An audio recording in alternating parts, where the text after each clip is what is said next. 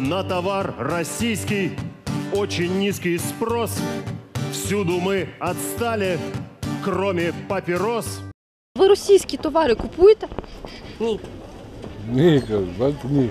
Ось так категорично деякі краяни ставляться до товарів з Росії. Продавай українське. За цим принципом зараз працює пані Оксана. Власниця магазину косметики ще рік тому почала поступово відмовлятися від торгівлі російською продукцією. Каже, українська косметика якістю не гірша, а закупівельна ціна у вітчизняних товарів нижча.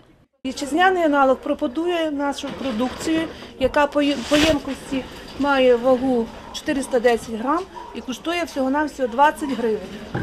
Є з обліпіхою, є женьшенем. А російська продукція пропонує нам 250 мл і вартість його 30 гривень. То навіщо платити нам 30 гривень, якщо можна взяти продукцію набагато дешевше? Зараз у магазині пані Оксани 80% товару від українського виробника. З Росії лише залишки. Зазвичай це відомі розрекламовані бренди, зокрема чиста лінія, бархатної ручки, лактацит.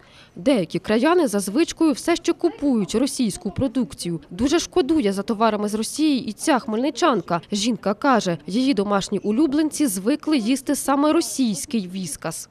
Тепер, коли його немає, нам почали поставляти польський. І мої коти його навіть пробувати не хочуть. От вам і вся різниця. А виводи робіть самі.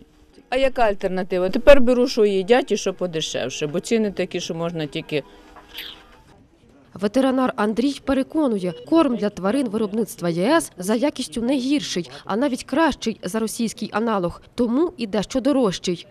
Проблем з заміною немає. Зараз ми все постачаємо з Європи. Європейські товари вони абсолютно не хужі і навіть набагато кращі, ніж російські. За ціною, звісно, чуть-чуть дорожче. Якщо коти у їжі більш консервативні, то люди від російських продуктів харчування відмовляються легко. Раніше бувало купували паштети, шпроти та какао «Made in Russia». Тепер уважно придивляються до штрих-коду. Люди навіть е, зразу дивляться логотипи, чи є російські, чи нема. Штрих-коди провіряють. Ну, російські люди не беруть товари. Вони навіть зразу питають, який виробник, який виробник. А російського не хочуть брати.